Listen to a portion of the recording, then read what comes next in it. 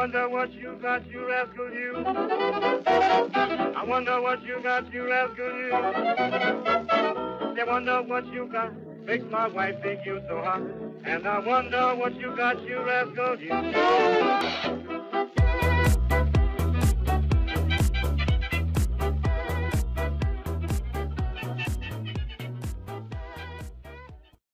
So, wir laufen jetzt hier gerade am Startpunkt nach der Seilbahn.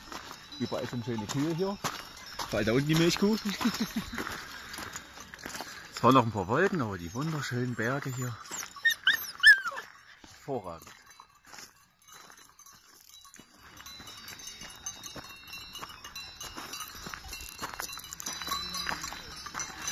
Da irgendwo in die Wolken, kann man das nicht erkennen, ist die Zugspitze, vermutlich.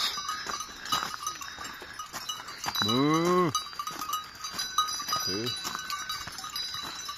Das ist ein ausgesprochen schönes Exemplar hier. Eine Dame mit Geweih. Guten Tag.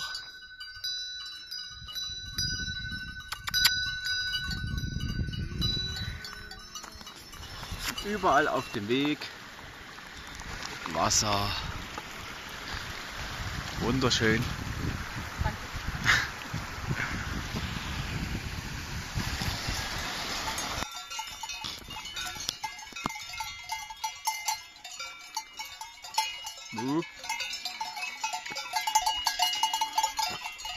Schöne Kuh. So eine schicke Kuh. So eine schicke Kuh. So eine schicke Kuh. So eine gute.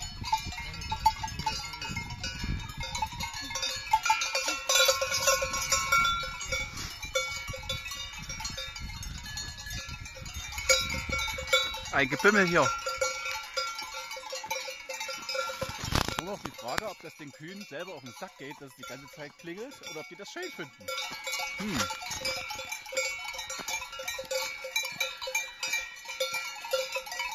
Und das Baby und die Mutti.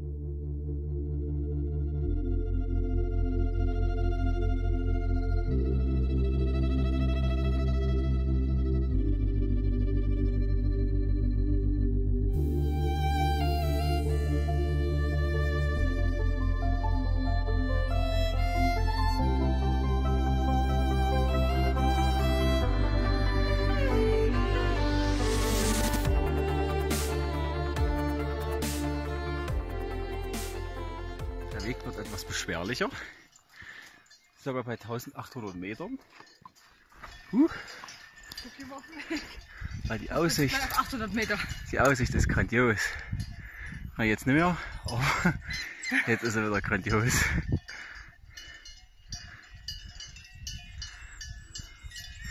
Ja. Weiter geht's. Du kannst selber durchgehen. Das ist doch nicht aus Zuckerwatte.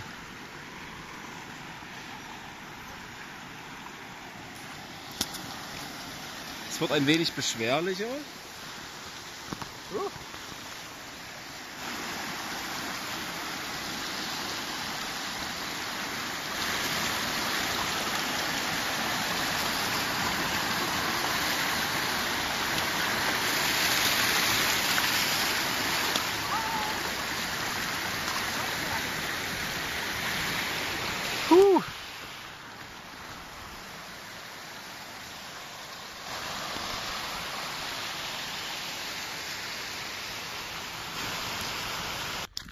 Auf 2000 Meter laufen wir durch die Wolkendecke. Ist total geil. Kein Wind, relativ feucht. Ich bumpe schon wie Maikäfer. Cory ist sehr tapfer und sehr lieb. Die Mutti auch. Und jetzt geht es weiter hier. Hey ho, let's go!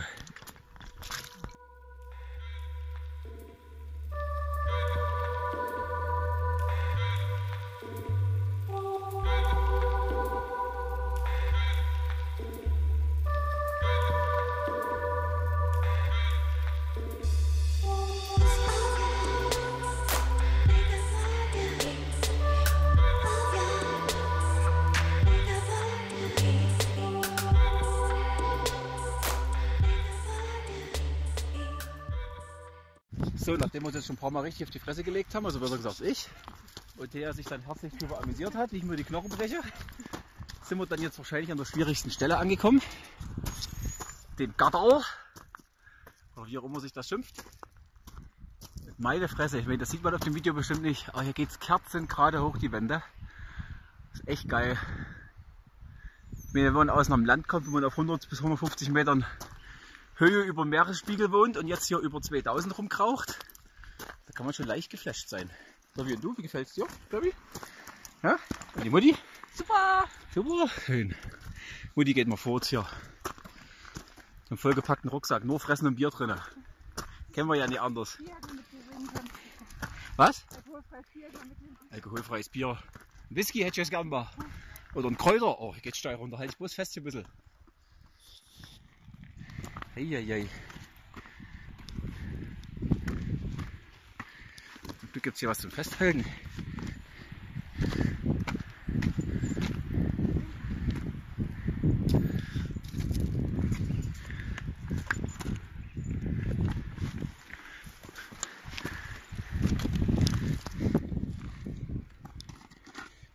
Voll, wenn das Ding hier oben ist. Schaffst du das gerade? Sieht gut aus.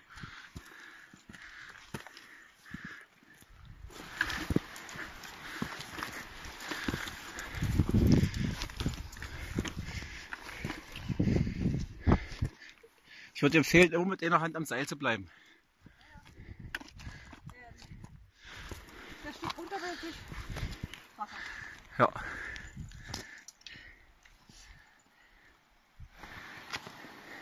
So fein.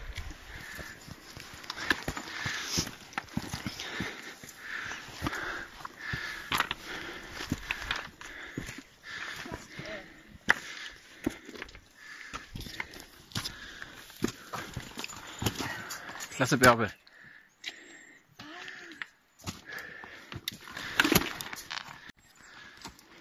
Fein. Was schaffst du? Was schaffst du?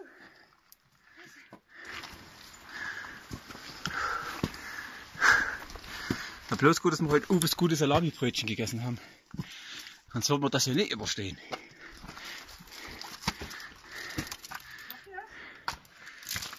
Oh je. Ja. Sieht gut aus.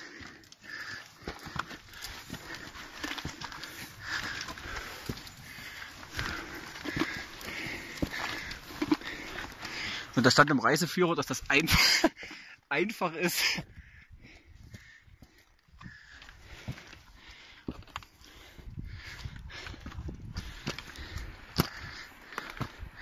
Huhu, sind wir oben? Wow.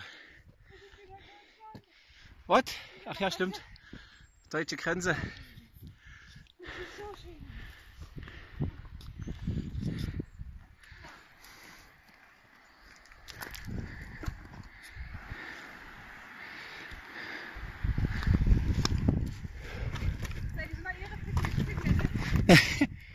Sie läuft vor mir am Grün.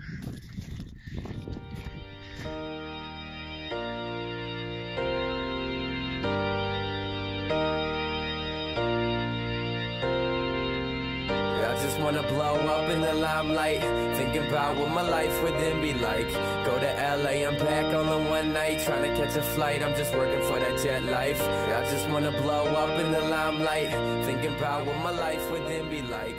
Go to LA, I'm back on the Cool, Videoaufnahme klappt so auch.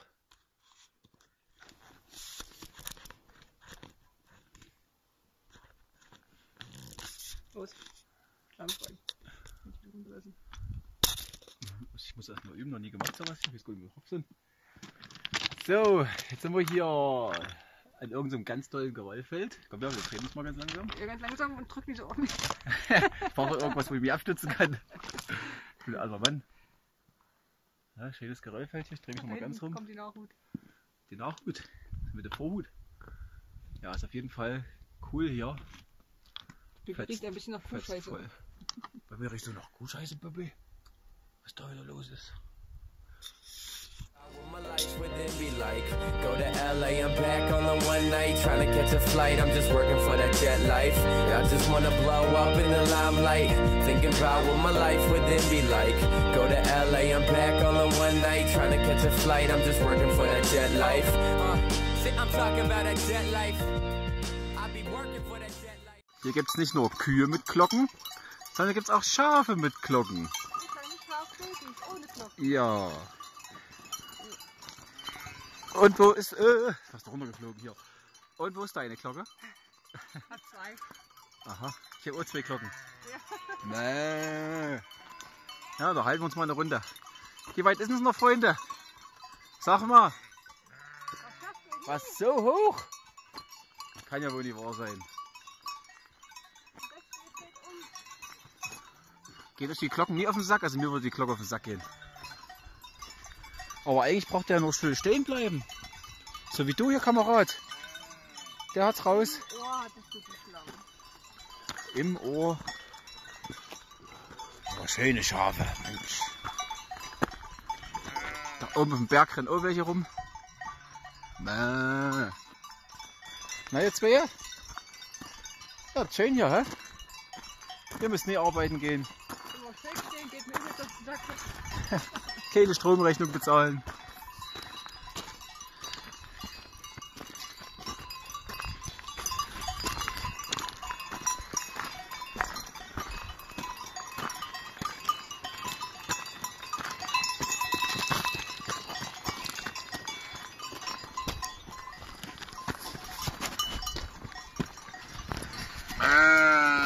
Ne? Und du bist hier der Boss oder was? Hä? Äh, guten Tag. Äh, was macht es?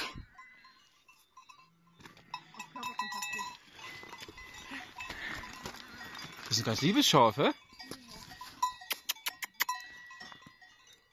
Bist du ein liebes, kuschelndes Schaf? Ja, es will kuscheln. Ja, erstmal Segen oder was hier? Ja. Aber so ein liebes Schäfchen. Ja. Später, hau rein. Mach's gut, Kamerad. Ah, und hier. Und du? Meine Güte, voll am Abchillen.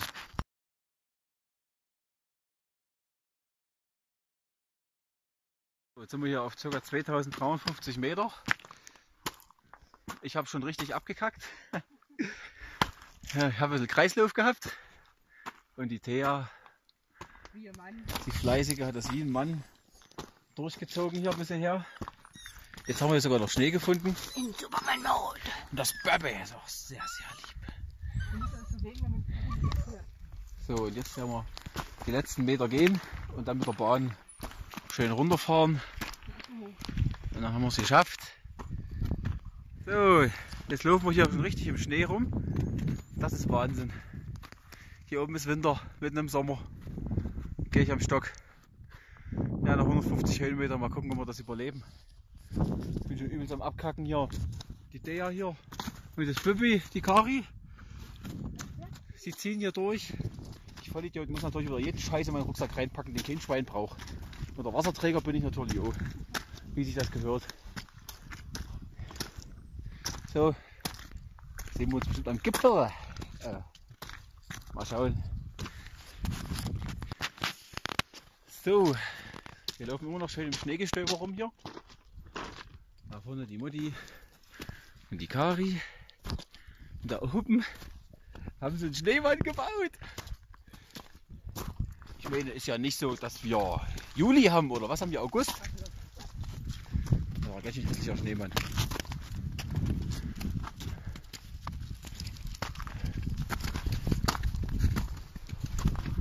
Alles neblig, aber schon eine krasse ah, Erfahrung.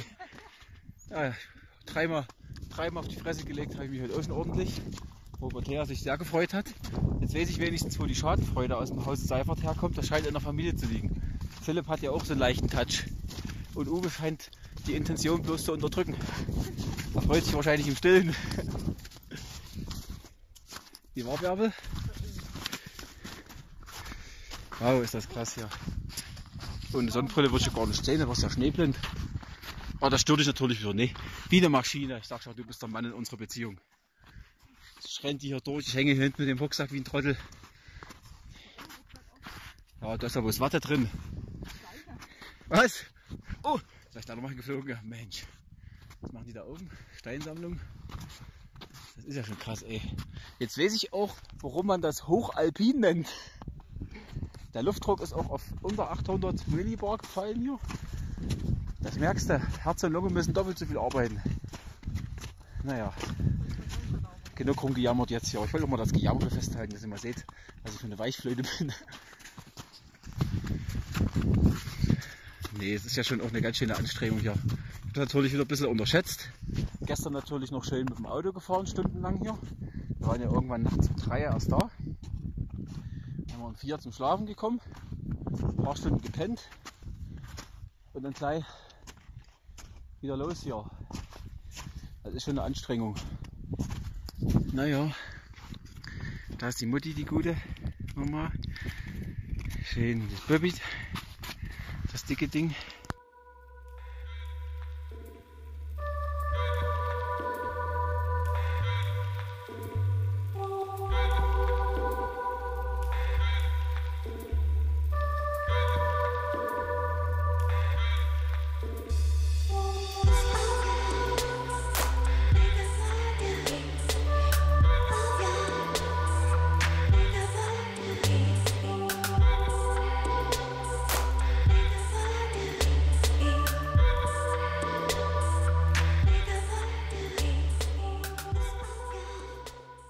Letzten Meter bis zur Bahn, die uns dann auf den Gipfel hochbringt, weil da laufen so ein paar Einzelne, Verrückte. Also ich weiß nicht, ob der Hang 45 oder 60 Grad Steigung hat, aber die hat er bestimmt. Bei Schnee laufen die da hoch. Also das tun wir uns heute nicht mehr an hier, Herr Bärbel. Das ist katastrophal.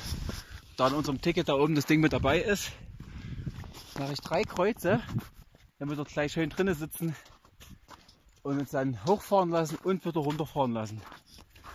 Und dann ist das Thema auf die Zugspitze hoch oh, abgehakt von Urlaub. Oh, Bärbel! Hey, Bärbel! So Freunde, wir sind jetzt wieder unten.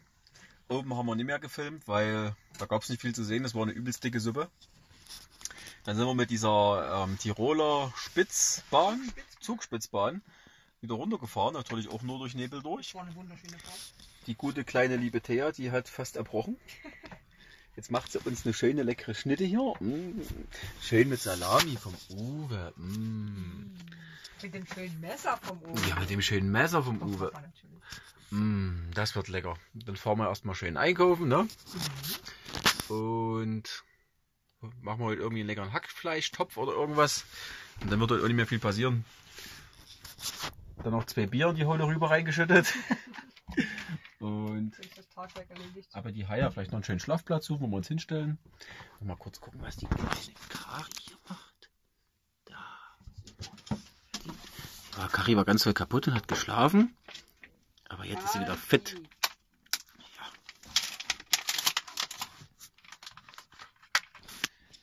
So, dann melden wir uns ab für heute. So, unser schöner Lagerplatz ist fertig. Schön geparkt hier. Mitten in einem Wald. An einem kleinen Bach. Mit einem kleinen Wasserfall.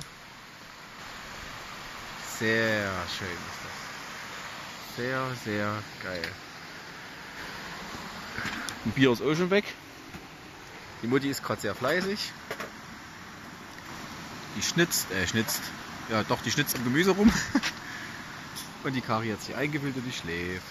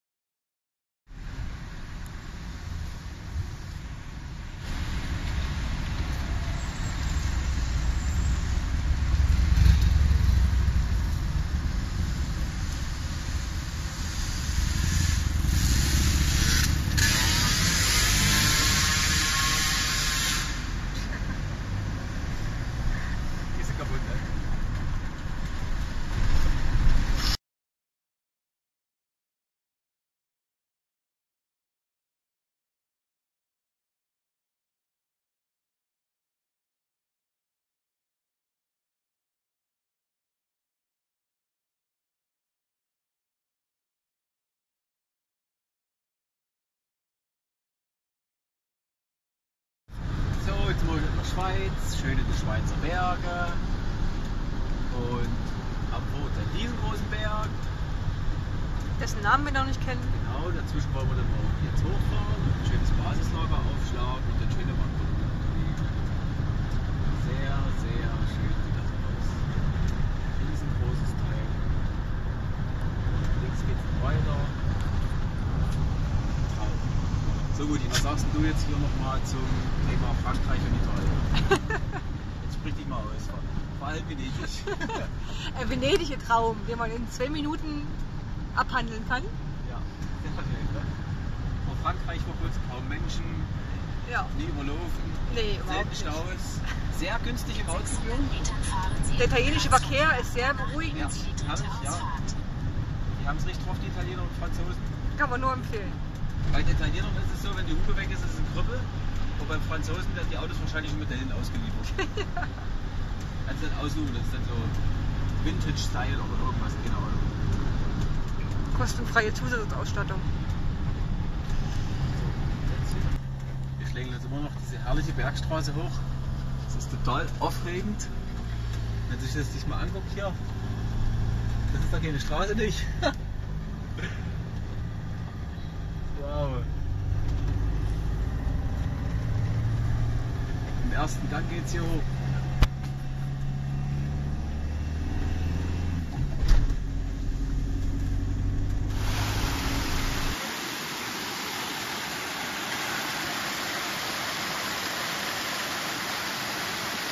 Traut sich nicht.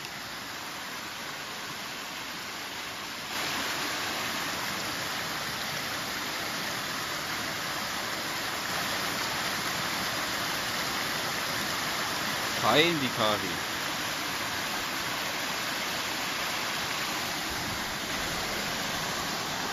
So, weiter geht's. Noch mal ein Stückchen. Pro Höhenmeter zwischen Frühstück und Gänsebraten.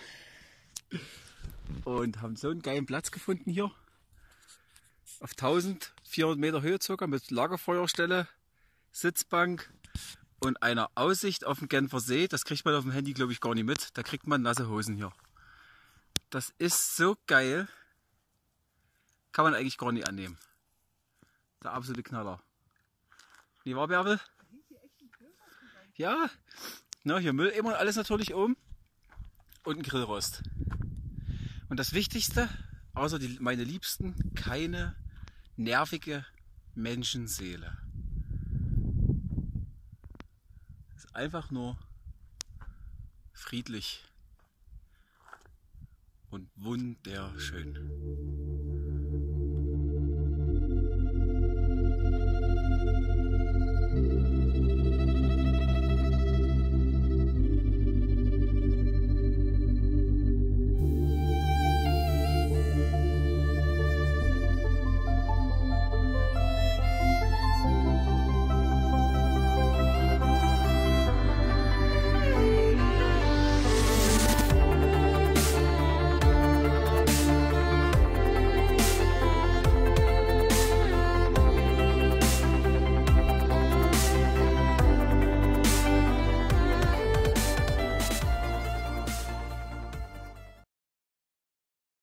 Auf einen weiteren 2000er mit dem Bobby und der Mutti.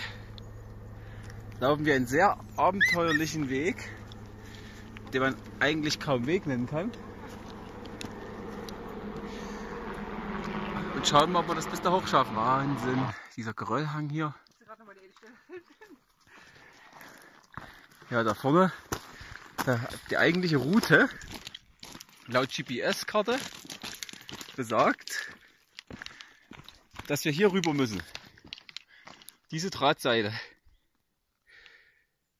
Und hier liegen irgendwelche Bretter daneben. Kann man wahrscheinlich dann hier drauflegen und dann irgendwie sich rüberschieben. Aber das tun wir uns nicht an. Wir suchen uns einen anderen Weg. Nein, ich traue mich nicht. Die Mutti wollte ja, aber ich traue mich nicht. So, wir suchen uns einen anderen Weg und melden uns dann später nochmal. Und höher und höher kommen wir. Kann man gar nicht oft genug sagen, wie geil diese Aussicht ist, ey. Kari, wir gehen ja gleich weiter. Also noch lange nicht oben, jetzt sind wir hier bei 1500 Metern ungefähr. Noch 500, 600 müssen wir hoch. Da hinten irgendwo ist das Ziel. Aber es sieht schon mal viel weniger hoch aus, wie wir von unten losgelaufen sind. Da unten, wo das kleine Dörfchen ist, ist in der Mitte vom Bild sind wir losgelaufen. Ja, das geht schon ganz schön steil hoch hier. Haben wir ordentlich was zu beißen, Bärbel, hä? Jawohl.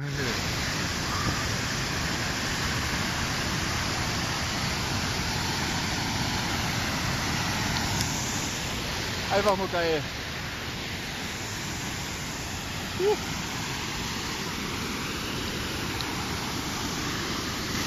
Wow.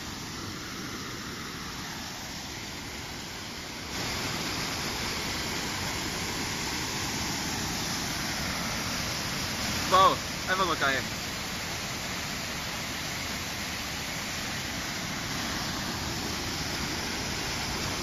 Babi? Beste. So eine gute. Die Motti.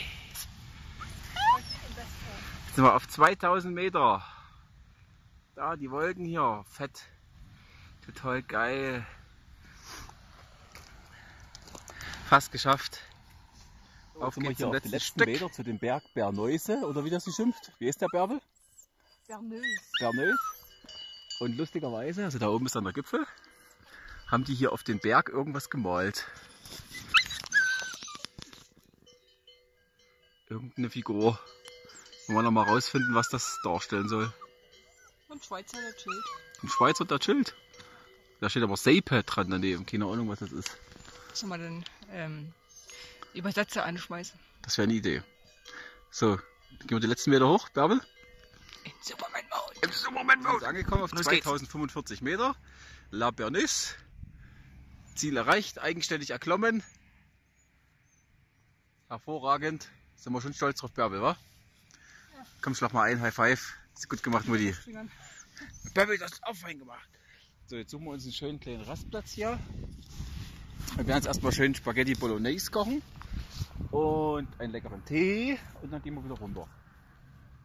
Hier sieht doch ganz gut aus, hä? Da kann man bestimmt schön runterstürzen hier. Ja, geht noch.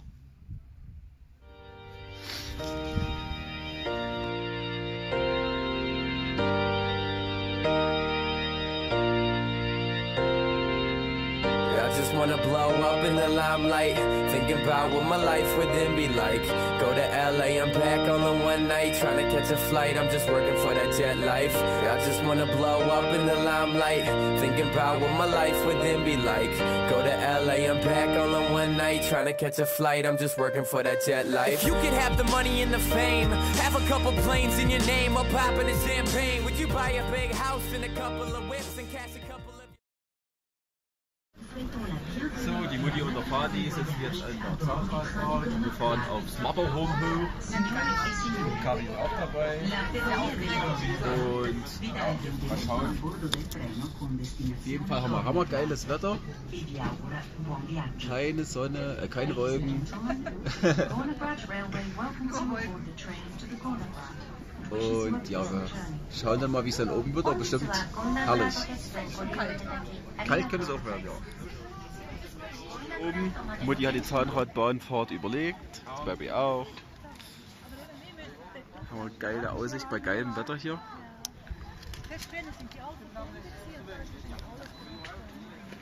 Drüben ist dann das Matterhorn. Zum Glück kaum Leute hier oben.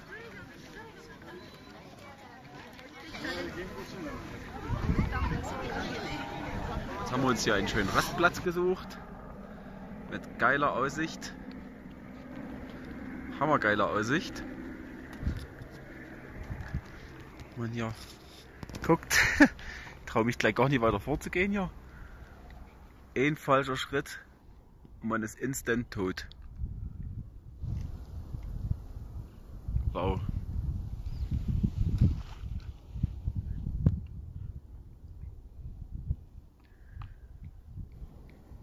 Da geht's richtig runter, ne? Wenn du dich umbringen willst, bist du hier an einer guten Stelle. Kari? Die reinste Kräheninvasion hier. Herrlich, wie die fliegen können.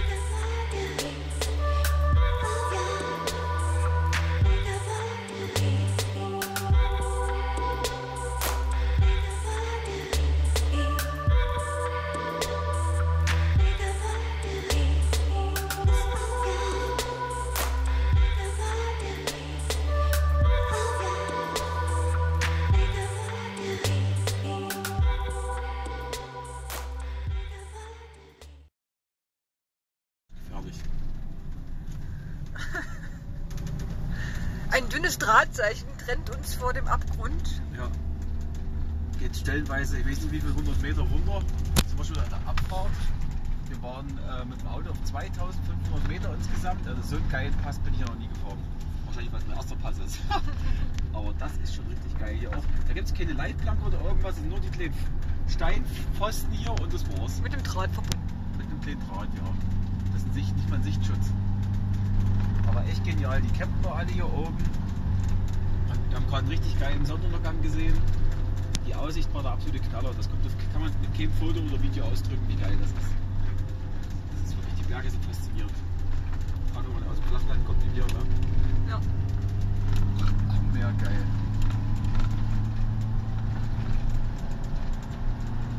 Das waren wieder 1000 Meter runter wahrscheinlich.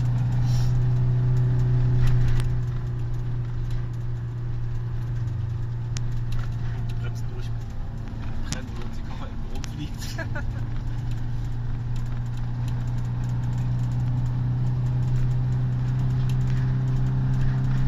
Das war noch richtig abenteuerlich. Alter.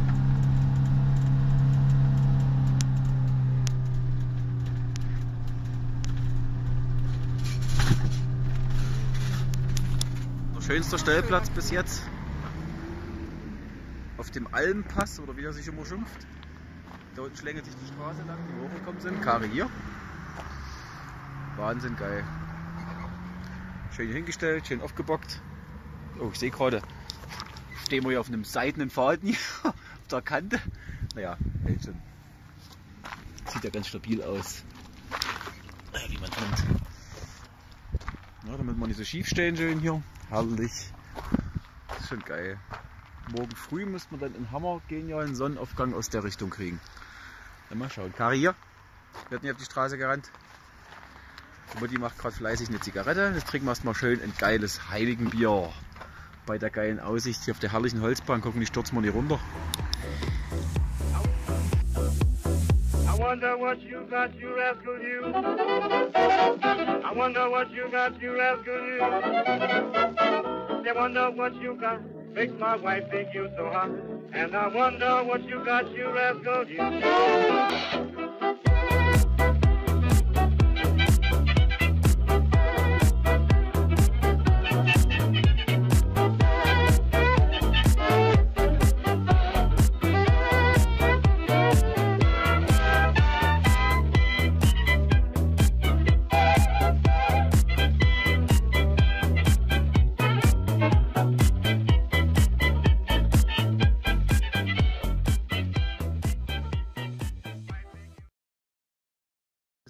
Gipfelhöhe angekommen. Wieder Faltegartenköpfle. Wieder hervorragende Aussicht. Da die Mutti. Schöner Grat hier oben, auf dem man langläuft. Da geht es richtig tief runter. Da gibt es kein Halten mehr. Und eine frische Brise weht. Herrlich. Wo ist die? Irgendwo hier muss sie sein, ja.